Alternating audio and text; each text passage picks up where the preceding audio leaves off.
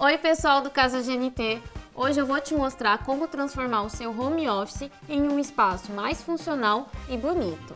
Você vai ver como renovar um armário embutido, quais os tipos de iluminação para um espaço de trabalho e como usar prateleiras para armazenar objetos. Como eu conversei com a Lili e com o Natan, eles vão pintar o armário que já existe no cômodo. Essa foi a maneira que eu encontrei de trazer essa peça para minha nova decoração.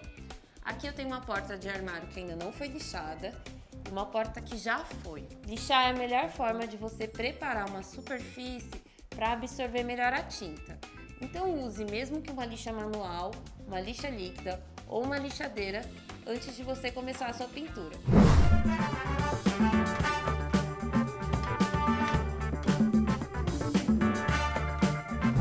A tinta que eu usei aqui é a mesma que o Nathan e a Lilian vão usar para pintar a parede e também o armário. Hoje em dia, esse tipo de tinta já tem uma qualidade tão grande que você já consegue aplicar em outras superfícies. Mas para fazer uma pintura mais específica em madeira e metal, existe o tipo tinta esmalte à base d'água. Esse estilo de tinta tem dois acabamentos, o acetinado e o brilhante. Quando o assunto é dividir um espaço, além da pintura, você consegue trabalhar a iluminação. Com diferentes tipos de luminárias, com diferentes tipos de luzes, você consegue criar um espaço diferente. Aqui eu tenho um trino, onde vão os spots. Eu posso ter um, dois ou vários. O legal do spot é que você consegue ir direcionando ele conforme as suas necessidades é uma ótima dica para um ambiente funcional, como um espaço de trabalho. Mas não é porque você trabalha no ambiente que você só precisa ter luz no teto. Você pode ter diferentes tipos de luminária. Aqui eu tenho uma luminária de piso e uma luminária de mesa.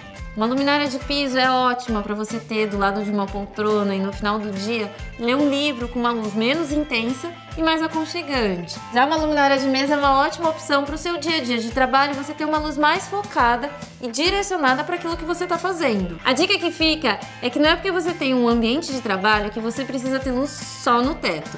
Você pode ter luminárias diferentes, luzes diferentes e criar assim um uso distinto no mesmo espaço.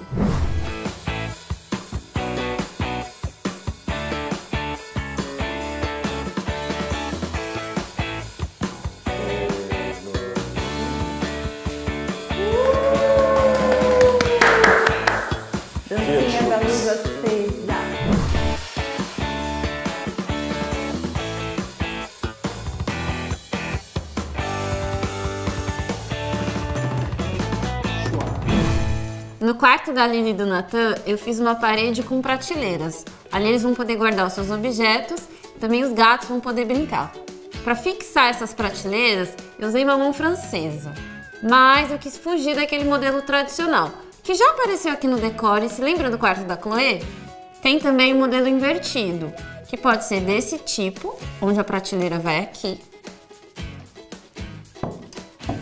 e desse outro jeito, que eu gosto muito, já usei várias vezes aqui no Decore-se, porque ele é simples, discreto, além de dar um toque de cor para os meus projetos.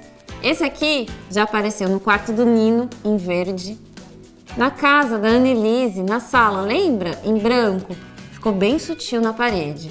E também na casa da Maíra e do Jefferson, onde, além de apoiar a prateleira, eu coloquei uma rede que eles podiam colocar fotografias.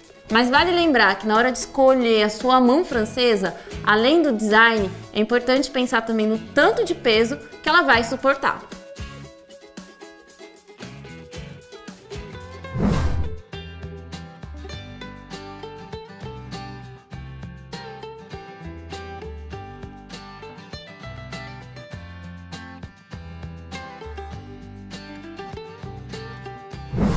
Gostou? Então deixe o seu like, os seus comentários, compartilhe com os amigos e até a próxima!